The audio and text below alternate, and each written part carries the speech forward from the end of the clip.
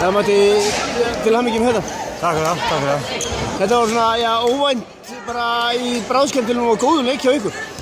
Já, við bara spilum hörkuleikana. Við vorum mjög þettir í vördinni í fyrirháleik og það er svona aðeins að klippa á í sókninni og það mátt stúta aðeins betur og hefði getið að vera með aðeins meiri fórstur í, í háleik og við byrjum bara rosalega aðeins slakar í vördinni setna áleik en við náðum svolítið að matcha þá alltaf einhvern veginn og við komum með gott fórskot í háleik þannig svona var aðeins að bæta við það og þá var þess að rotera liðinu vel og með fá kvílast og svona svolítið skilja hérna flottum segri.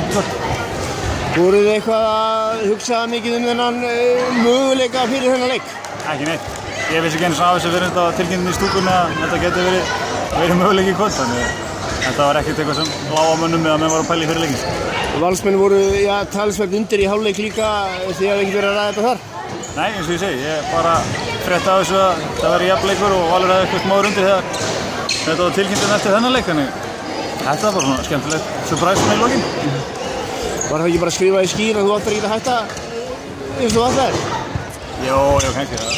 Maður veit það ekki. Það er gaman að taka þátt í þessu og einhverja fjóriði, fjóriði döldamistartittir minn á, á fimm árum þannig það er ágættið, ágættið satt nú.